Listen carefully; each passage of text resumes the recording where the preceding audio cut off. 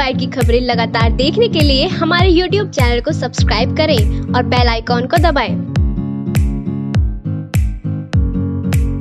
इस खबर के प्रायोजक है जैना ज्वेलर्स आबुलेन मेरठ। नमस्कार, मैं राहुल हुड्डा और आप देख रहे हैं first bite dot TV. Lisadi gate थाना क्षेत्र के मोहल्ला बुनकर नगर में प्रातः सुबह करीब छह बजे चार नकाबपोश अज्ञात बदमाशों ने शादाब पुत्र सलाउद्दीन को उस वक्त गोली मार दी जब वो अपनी डेयरी पर काम कर रहा था। आपको बता दें, शादाब अपनी डेयरी चलाता है। बुधवार सुबह करीब छह बजे मवेशी का दूध निकाल रहा था। तभी चार नकाबपोश बदमाश दूध लेने के बहाने डेयरी पर पहुँचे, जिनमें से दो बदमाश बाहर खड़े रहे और दो बदमाशों ने शादाब पर हमला बोल दिया। गोली इतनी करीब से चलाई गई थी कि शादाब की जान भी जा सकती थी। गोली की आवाज़ सुनकर मोहल्ले वाले व बड़े भाई आश मोहम्मद ने आकर देखा तो उसके भाई के सीने पर गोली लगी थी और वो जख्मी हालत में खून से लथपथ पड़ा था।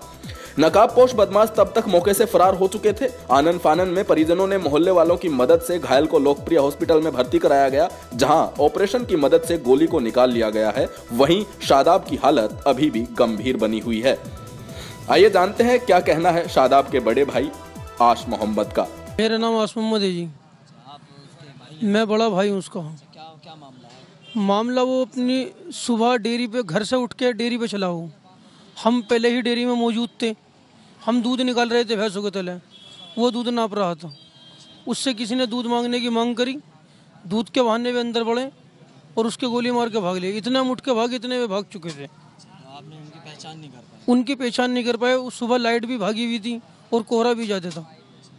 इसके मामले को लेकर आपने थाने में तहरीर दी? अभी तो हमने तहरीर नहीं दी। हम भाई उठ जा होशा जावे तो जिसके गोली मारी है सोच रहे हैं कि पहले वही बता दे कि कौन आदमी है? मुलजिम को तो सज़ा मिलनी चाहिए।